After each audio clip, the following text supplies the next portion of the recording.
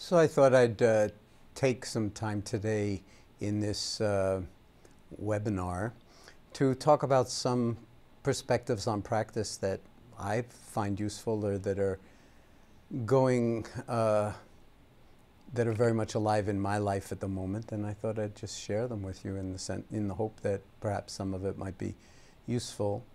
Uh, when we do something like this on the web that anybody can tune into, people may be tuning in and they've never even heard of mindfulness, and other people may be tuning in who have been teaching mindfulness based interventions of one kind or another for a very long time, and everybody in between.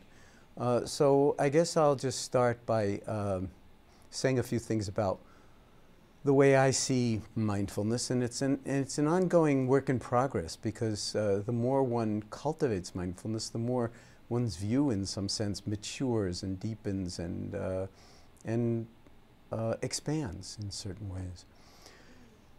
For me, uh, to a first approximation, we could say that mindfulness is just awareness, pure awareness, uh, and therefore is accessible to all of us and is part of simply being human but it's not, uh, you know, people often say, well, I'm aware. What's so special about awareness? I'm aware of driving down the street. I'm aware of, well, you know, whatever it is, eating my dinner. But if you begin to look at it, maybe actually not that aware. Maybe we're more lost in thought and thinking we're aware. Yeah, I know that I'm walking or driving or eating or, you know, talking with somebody, but uh, maybe we're not fully present.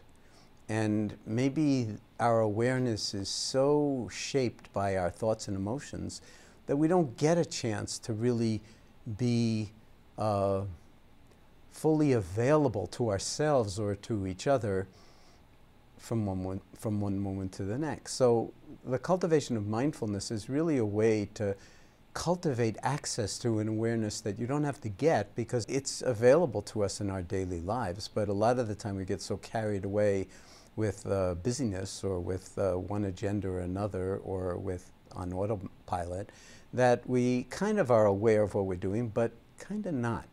And mindfulness is a way of, in some sense, bringing things into a greater focus so that you're really more embodied, more in touch with various aspects of what's unfolding. That's kind of important because um, with all of the different challenges and stress that we face in our lives, you could ask yourself, I mean, if I'm faced with some major decision or major conundrum in my life, here's a pop quiz. Do I want to have 40% of my marbles, 70% of my marbles, 90% of my marbles, or 100% of my marbles available to me when I have to act, when I have to make the decision? And the answer to the quiz is obvious. You want to have your full repertoire of uh, capacities available, but a lot of the time, if we're on autopilot, we don't. So mindfulness, as I define it operationally, is the awareness that arises from paying attention on purpose in the present moment and non-judgmentally. So I'll say that again, paying attention on purpose in the present moment and non-judgmentally the awareness that arises when we engage in that kind of a way with reality, with experience. So you'll notice that it doesn't say what to pay attention to. Because basically, we have the capacity to attend to anything. And out of that, to be aware of a whole range of different aspects of experience that often we're only aware of some of it. And we don't even question what are we not aware of? What are we blind to? And so it's very powerful to begin to ask yourself, what am I missing in my life or in my moments? And how much of my kind of blasting through my moments to get to other better moments at the end of the day when I get to go home from work or uh, on the weekend or whatever, so or on vacation, so that we tend to make for special moments when all is happening exactly according to plan and very much the way we want. And then the other moments are kind of in between or just on the way to moments. And part of this perspective on uh, life that we're calling mindfulness is saying that there are no on the way to moments. There are no in between moments your life is unfolding only now in this moment and no other moment. And if you miss it, you've missed a moment of your life. And if you're out to lunch, metaphorically, then you're really out of touch with some of the essential aspects of life. And it's not just when the proverbial stuff hits the proverbial fan that it would be a good idea to have all of your capacities online. But uh, in all moments, we will see more, we will feel more, we will learn more, we will uh, be much clearer if we can carry this awareness around with us. And it turns out it's infinitely portable, but it requires um, cultivation. And that's what meditation practice is, is it's the intentional cultivation of access to our own capacity for awareness, for relationality, for being in touch. And that's always reciprocal. Uh, we're touched by the world. We're touched through the eyes, we're touched through the ears, we're touched through the nose.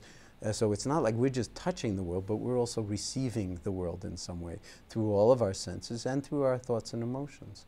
So mindfulness, in a way, is the awareness that holds the entire play of life unfolding in the only moments it ever does, moment by moment by moment. This one. And when we orient in this way, then um, we begin to exercise that muscle. And the more we exercise it, the deeper and more profound um, the inhabiting of our moments becomes. Now, in order to do that, as pretty much everybody knows now, there's, uh, there are formal meditation practices that help enormously in this cultivation.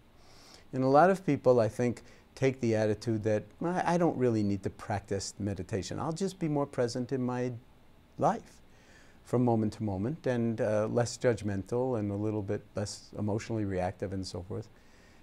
And, Um, you know, and I often say, well, lots of luck. Because while it's easy to say, it's not so easy to do.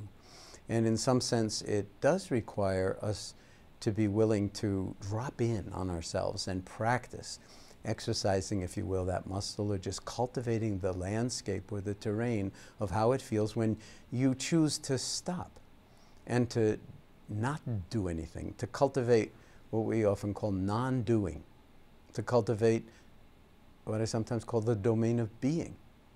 Like, here I am, and I don't need the next moment. I don't need anything else to happen. Can I be completely at home in this one?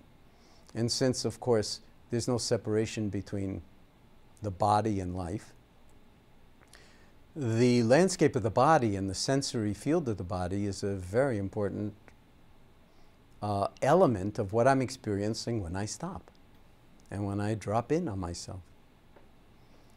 So that would include, for instance, um, anything coming in through the eyes,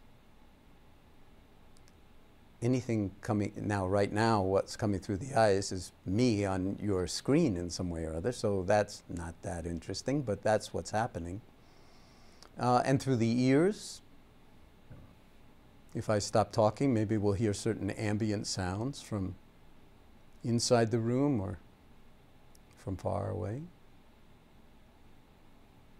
and we don't have to go out and search for any sounds. We can just let sounds come to us. And if not, well, then there's something else that's equally beautiful and observable, and that's what we call silence.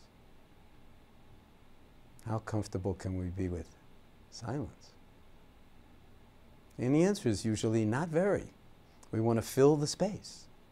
But silence has an enormous amount to teach us, to offer us, uh, if we can learn how to inhabit the stillness and the spaciousness of silent wakefulness. And you don't have to do anything in order to make this happen. It's just like part of your genetic inheritance. It's in your DNA. It's in all of our DNA to be still, to be without filling up the world or experience or our heads with anything. Just allowing things to be as they are. And we do call ourselves human beings, so there is like some kind of major emphasis on being in the way we think of ourselves, like we're human beings. But a lot of the time, the as the cliche goes, we act more like human doings than like human beings. So this is the invitation, just stop and drop in. And I've been doing this since I was about 22 years old. Uh, so that's a lot of years, approaching 50 years. And over the years, I've come to see that this not as a kind of exercise and a, a, kind of an artificial thing that, okay, now it's time for me to meditate and get myself all together and close my eyes and feel my breath and be aware. And, and then a lot of the time when I am aware, I may be giving myself instructions to be aware because the mind has a life of its own and it doesn't want to be aware or it doesn't like the silence or the stillness. Uh, but what I'm talking about more, and as I've practiced over the years, is more like when we take our seat in this way, it's not an exercise to make something happen. It's, it's a love affair. It's nothing less than a love affair with, the, with life itself. And the recognition that we really are only alive in this moment. Can we inhabit just this one and be in the body with kind of open hearted spaciousness in the mind, not fill it with thought, not try to suppress any thoughts that are here, but just let thoughts do what they do, let our emotions and moods do what they do, but not be caught by any of it. Just let it all unfold because we've created a bigger pasture or field for all of that to unfold. And the answer is, of course, any human being can do this. And after 35 years of MBSR at the UMass Medical Center, uh, training, you know, upwards of more than 20,000 medical patients referred by their physicians and coming to the clinic by themselves uh, for every conceivable uh, ailment and discomfort and stress and chronic pain, that we can say that this is a kind of something that anybody can do if they have the motivation to do it. You have to really have a strong motivation to befriend yourself in some way. And this is a, a radical act, not only of love, but of befriending. You know, take your seat and step outside of time into the present moment. So it's no longer, you know, how long am I going to sit, but just can I be here for, say, one breath coming in and one breath going out. And that is without pushing or pulling the breath, and let's not make it artificial in any way, shape, or form, but just can I ride the waves of one in breath and one out breath with full awareness? And I can experiment with my eyes open, with my eyes closed. Doesn't really matter because the awareness is the awareness. Can I give myself over in a certain way to awareness itself? And so we can experiment.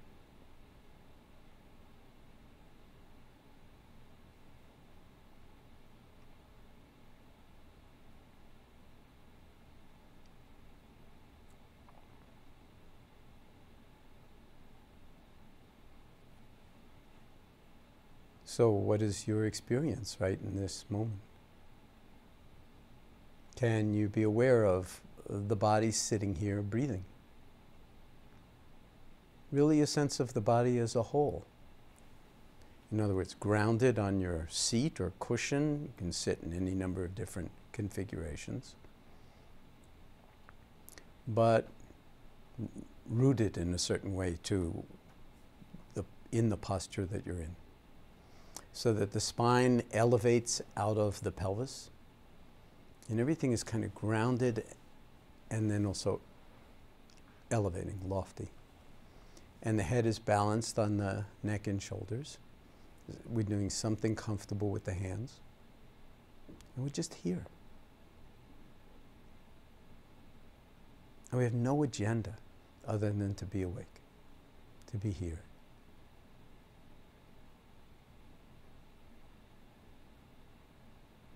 And of course, whether you've been practicing for 50 years or whether you just, you know, this is your first encounter with anything having to do with meditation, it doesn't take long to discover that the mind totally has a life of its own and it will just go here and there and it doesn't necessarily even want to be sitting and exploring as if this were a laboratory. Uh, the present moment. Who cares about the present moment? I got work to do. I got things to do. I got places to go. And of course, even if you don't, your mind is going to go everywhere conceivable because that's what the mind does. It just conceives of one thing after another after another. And you can get carried away in this thought train or that thought chain. And then some of the thoughts have heavy duty emotions associated with them. A lot of them often difficult and stressful and problematic or bringing up all sorts of strong feelings.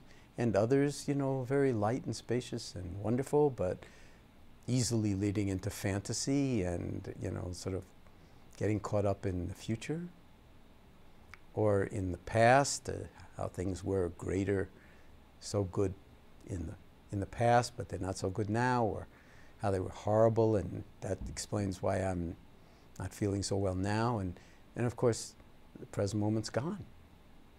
But look, here we are. Your body's still here. If you haven't shut down this webinar, you're still here. I'm still here. So, and it's now this moment of now. It's not the other one when your mind was wandering. So, no problem. You don't have to suppress anything, deny anything, reject anything. Just right back to now.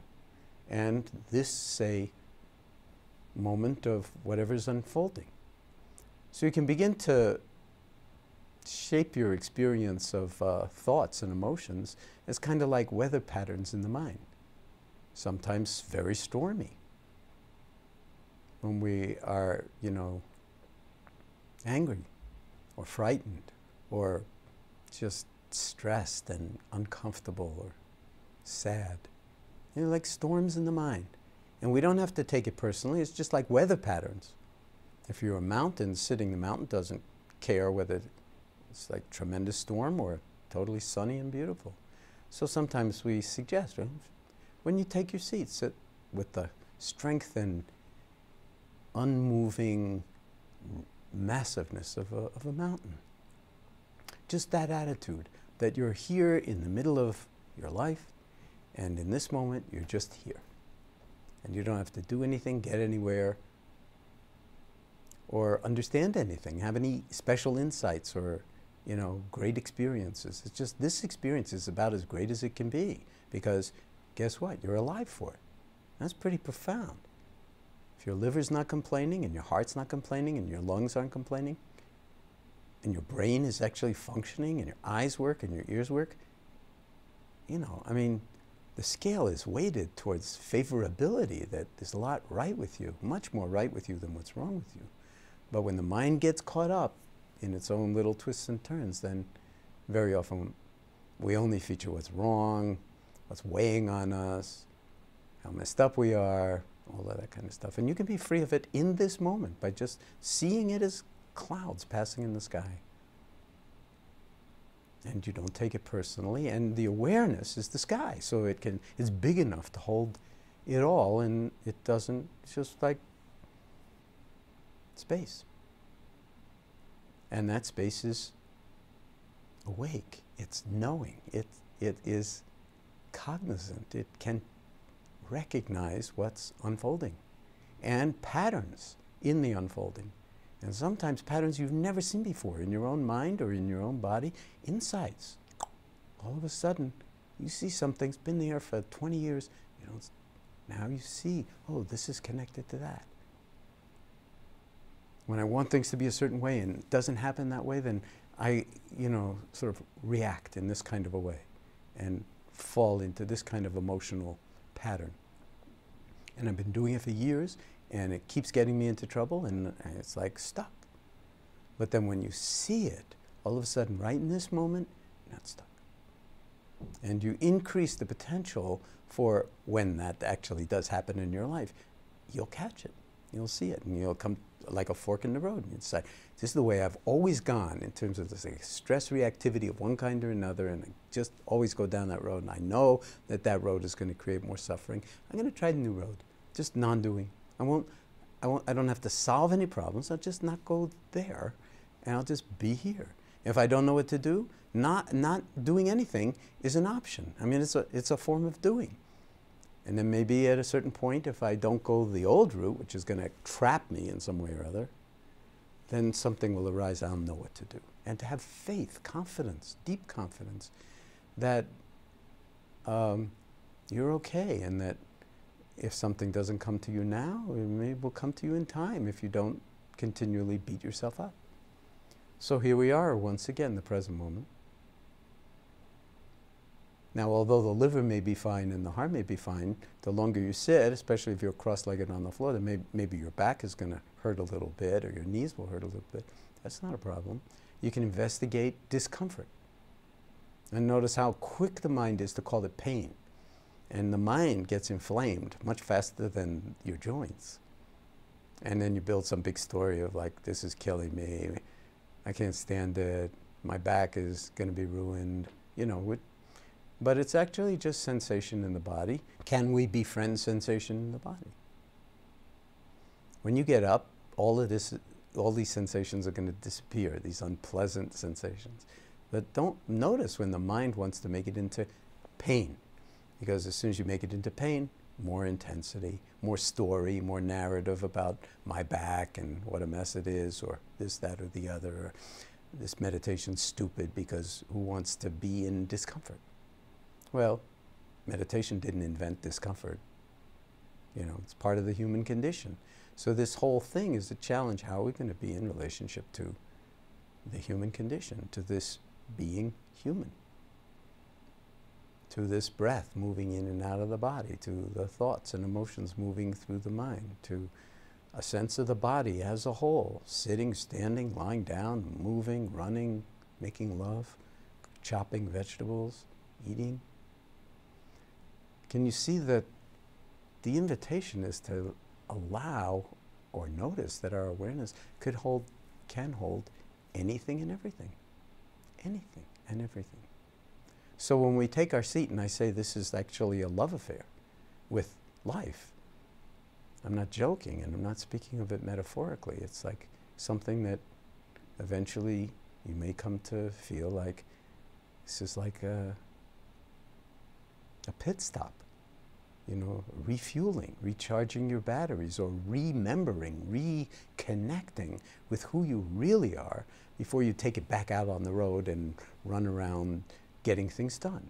And maybe, actually, if you really want to get things done, good things and so forth, and continually check things off your never ending to do list, maybe the way to do that is to let the doing come out of your being, come out of this spaciousness that's already equanimous, that's already balanced. It's the mind and body are in some sense more balanced when we're coming out of being and out of this timeless quality of the present moment. And then we may decide that some things on our to-do list we don't need to do. We may be able to differentiate what's urgent and drives us crazy from what's important and never gets done because we're always dealing with the urgent. That's another form of wisdom. To navigate your life, to make choices, to go with the ups and downs and the ins and the outs, and as Homer says in the Odyssey, the twists and turns, you know, of life that sometimes bring us to very, very difficult, unwanted moments that no one would wish on you and that you certainly wouldn't have chosen, and yet that's life, you know. It's, as Zorba the Greek called it, the full catastrophe of the human condition. But that's not a problem. That's part of the sea that we swim in, but it's not the whole sea.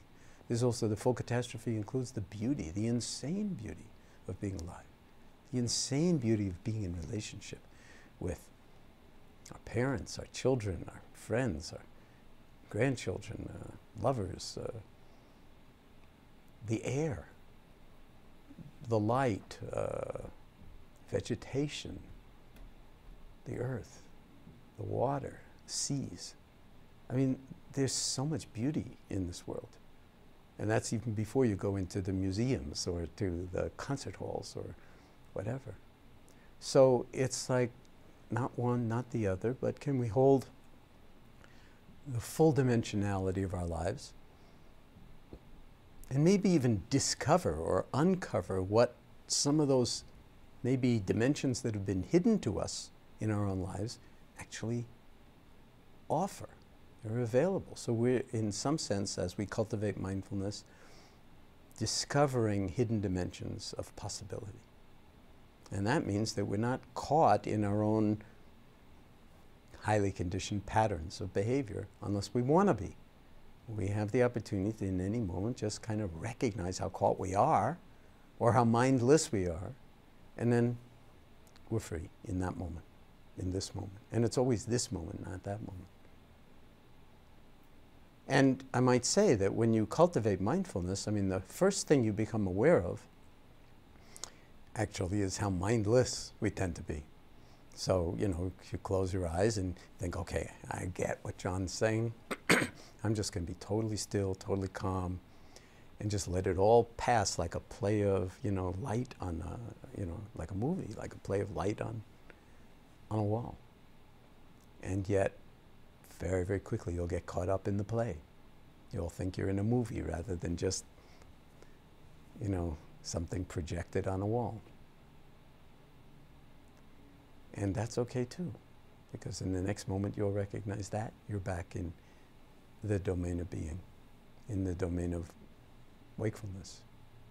So this is a very forgiving practice. I mean, it will, you know, if you if you tend to cultivate it and stay with it, over time, um, it's deeply nurturing. It allows us to actually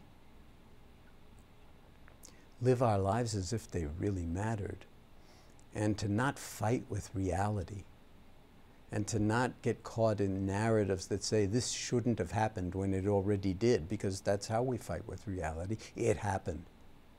You didn't want it to happen? True. You want now to solve the problem so that you get out of it in the best possible way? True. But right in this moment, it's just what it is.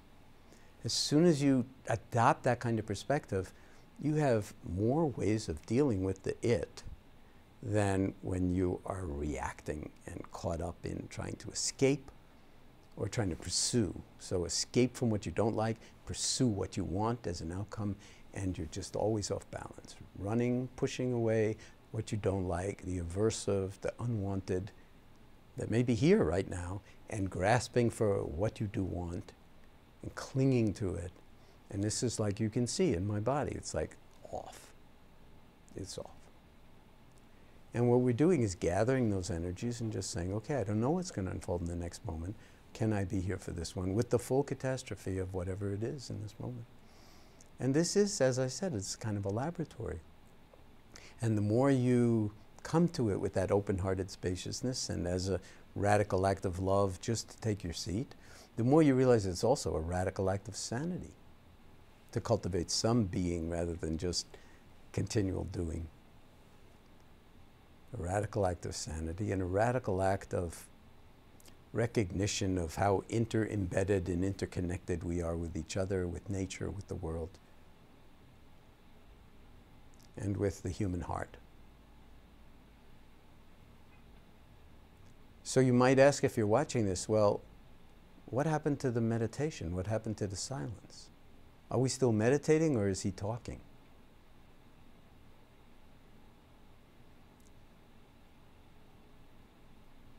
I don't know. It, de- it depends on how we're in relationship to it. If you are experiencing your body in this moment, taking in what it is that I'm saying as I wag my tongue in concert with moving my lips and my vocal cords and somehow magically sending out vibrations in the airwaves that through all sorts of electronic magic are coming to your ears. I mean, that's a total miracle in the first place. But can we hold the whole thing in awareness? And then, you know, this is meditation too. It's not like, oh, would you please shut up and then I can meditate? Yeah, if you want silence, great. Shut it off. Just be. I've said enough. You don't need to hear anymore. Believe me. But at the same time, can you see that we haven't left the domain of awareness at all? You can be mindful of what I'm saying, mindful of how this is affecting you one way or the other, liking it, disliking it, agreeing with it, making arguments in your mind and so forth. But the fact of the matter is, we're meditating as much now as if I were to just stop, close my mouth, and we just sit here. It's the same awareness. It's the same awareness. So we can learn to, if we can learn to inhabit this awareness, to make this in some sense the default mode rather than the kind of narrative stories we're continually uh, generating in the mind about how we're doing and where we're going and how things are going to work out or how they're not going to work out and what I have still on my to-do list before I fall into bed exhausted, then maybe this is a process of completely reclaiming our lives in the only moment, again, I sound like a broken record, if you know what a record is, but uh, reclaiming our lives in the sense that if you check your watch, you know, my God, it's now again. Holy smoke. Every time. It's like, what time is it? It's now. And it's very precious not to be missed because if you miss it, you're missing this moment of life. And you only get so many breaths and then you exit. Many people have said very eloquent things about that, like Shakespeare. All of life is a stage, you know, and it has its exits and its entrances. So right now we're, as Dante said, you know, someplace in the middle of this road we call our life. So are we here for it or are we on our way to some better moment some other time when all the things that we want to happen happen and all the things we don't want to happen somehow magically are kept in abeyance. So that's an ongoing choice of all of us, moment by moment. And when we live in this way, when we give ourselves over in this way, formal practice, then that's uh, one element of the cultivation of mindfulness in everyday life. It's not the only one because then, no matter how long we sit, sooner or later we have to get up and do something else. And by the way, it's not just sitting. We have lying down practices, formal meditation practices, lying down, body scans of various lengths and descriptions, and also different kinds of lying down meditations, walking meditations, sitting meditations, standing meditation, running meditations, all sorts of formal meditation practices. But then we have informal meditation practice, which basically is the rest of your life. Everything can become part of your meditation practice if you're here for it. Why not be awake and aware when you're driving? Probably a good idea. Why not be awake and aware and in touch at work with what's going on in your mind, with, with what's going on in the office, in other people's minds, or wherever it is that you work? Can you be in touch with the larger field of all of us together, not just me as the center of the universe? And that's kind of an invitation and an ongoing experiment. And when we bring the formal practice and the informal practice together in our lives on a regular daily basis, again, this becomes like a profound love affair. And you would no sooner want to miss that time of formal practice in your life then you would want to miss brushing your teeth, for instance. Simply because it doesn't feel right, doesn't feel good. It's like a certain kind of self care and a certain kind of recalibration that you're actually rebooting, to use a computer term. You're, you're kind of rebooting yourself, reminding yourself, rebodying yourself so that you can be maximally available to the world and the world can be maximally available to you. And then what do you do with that? That's where the creativity, the imagination, the freedom comes in. Yeah, whatever you are impelled to do that seems wisest or that is most beneficial to others. When you're not taking yourself so personally, you realize that in an interconnected universe, being completely preoccupied with yourself is a form of violence to others and to yourself. And so we gradually begin to see, not learn or memorize some kind of philosophy, but just see that uh, who we think we are and who we actually are very different. And the narrative of who we think we are spends, takes over an enormous amount of time and energy in our lives and in our heads. And the irony is that we're much bigger than who we think we are. No matter how big we think we are or how diminished and small we think we are, it's like, it's just thinking. It's not the actuality of it at all. So if you take any of this to heart, then you can embrace yourself in a way that embodies dignity, respect, loving kindness, self compassion. And then there's really no boundary. The skin is not the boundary of who you are. And we are in this ongoing relation, relationality with life, all life, and with the planet, and with the air, and the light, and the, you know, the earth, and the environment. And, and when we know something about that inwardly, not just merely through thinking, but through embodied living, then we'll take better care of the planet.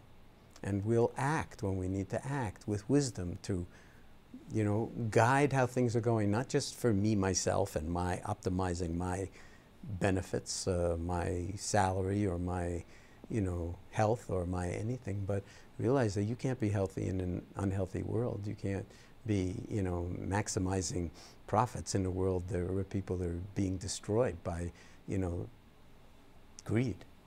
So these are, you know, sort of profound ways in which we can cultivate what's deepest and best in us as human beings. Now, I'll say a few more things about mindfulness. Um, in all Asian languages, the word for mind and the word for heart are the same word. So when you hear the word mindfulness in English. If you're not hearing the word heartfulness simultaneously or feeling it, then you're not really understanding it. This is not some cold clinical microscope peering kind of uh, bringing things into focus. This is recognizing the emotional valence of everything, of the interconnectedness of things. Why? Because that's what's most fundamental. The interconnectedness is the way the universe is, it's interconnected. So, from that point of view, uh, the natural impulse when we take our seats in this kind of gesture of this radical gesture or act of love or self compassion or wakefulness or um, sanity is to be more inclusive, to be more spacious, and the love just is part of it. The compassion naturally arises, the caring for others, the impulse to want to help others hold their suffering or to even recognize, be recognized as having it. Because sometimes you can't do anything about it, but you can be here with the other. And so, compassion is, and, and kindness are completely enmeshed and woven into the nature of mindfulness from the very beginning. And that's another way of expressing how deep a love affair this can be. So, if any of this makes any sense to you, again, whether this is the first time you've ever heard the word mindfulness or thought about a formal meditation practice, or whether you are an MBSR teacher who've been practicing for days, weeks, months, years, decades, a lifetime,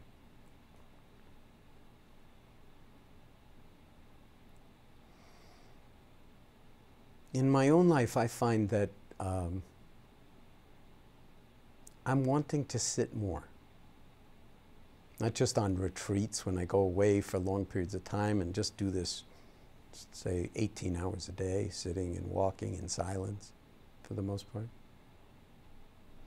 But um, whenever I see my cushion, I put cushions in different parts of my house, and when I see it, I try to get my butt on the cushion just impulsively, even if I'm going into another room, it kind of reminds me, oh, let me take five minutes and just recalibrate or drop or open or 10 minutes.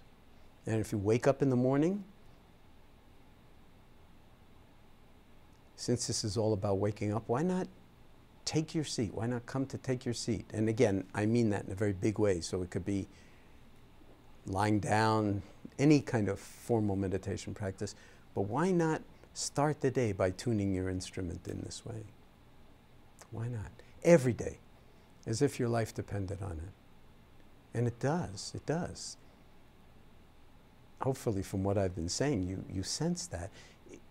Your life depends on it in more ways than you think, even. And I like to say in more ways than you can think, because thinking is a kind of limited affair in many ways. Einstein, you know, said if you're lucky if you have one or two good thoughts in a whole lifetime. Most of our thoughts are, you know, pretty pathetic, but we're so attached to them. When we recognize them as thoughts at all, because a lot of time we just don't know that we're thinking. We just think that it's the truth. That of whatever it is that we like or don't like or want or don't want. We just we don't know that those are all thoughts. We just think it's the truth of things, and then that's how you put nails in your coffin. It's as simple as that. So uh, to close, I'd just like to encourage you to take a deep look at how you are in relationship to your meditation practice if you have one, or if you are drawn to a, maybe even thinking about having a practice. And just see whether there's the potential for renewal, for deepening, for sharpening the focus, for opening the heartfulness so this is not about time. It's not about like, I have to sit for a half hour or 45 minutes or do my body scan for 45 minutes. I mean, what about 45 seconds? What about, what about no time at all?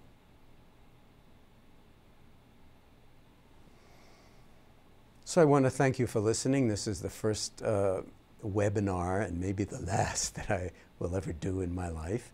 Uh, but I got roped into doing it, and I hope that it's of some use out there in the world. Um, if you um, have anything to say about it, um, you can tweet the Center for Mindfulness or uh, go on their Facebook page. Uh, I'm a little bit harder to find.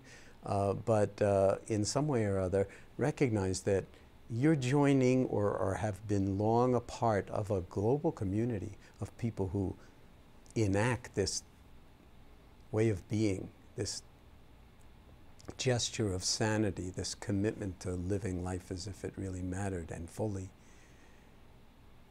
on a global scale that's influencing now economics, politics, healthcare, education, parenting. There's really no end to the benefits and the domains in which uh, which can benefit from greater present moment, non reactive, non judgmental, open hearted presence. Not too many, aside from maybe deep sleep. So uh, I feel tremendous gratitude to have this opportunity to connect in this way through the web with you, whoever you are, wherever you are. And uh, it's not so much about communicating me to you or you to me, but but really being attuned to the people we are connected with in intimate ways, in deep ways, at work, at home, in family, and so forth, and taking every opportunity to recognize how precious these moments are and how fleeting and how quickly it's gone, all of it.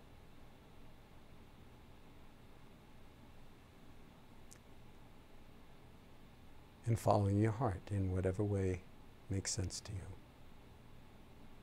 So, wishing you all the best, and perhaps at some point, in one way or another, through books, through guided meditations, through meeting in person, we will meet each other. But again, the most important thing is that you recognize that you are part of what we sometimes call this Indra's net or Indra's network, an old ancient uh, image but that involves uh, interconnectedness with the entire world and every human creature and every other creature in it. And, and maybe we'll even take responsibility for that. I don't know. Wishing you well.